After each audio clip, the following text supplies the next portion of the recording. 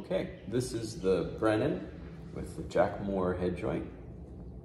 After COA, it had a lot of mechanical issues, but they're all fixed and it sounds beautiful. So here's a little play test.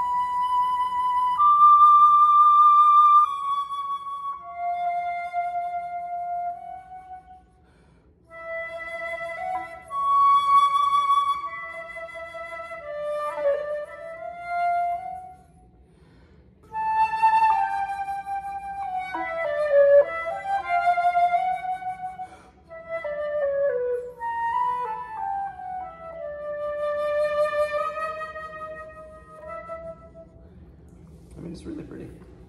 So now hopefully you'll be able to experience the resonance in the keys and be able to uh, explore more tone colors, maximum resonance, and, and all the rest. So it's a pleasure to bring this instrument back to life.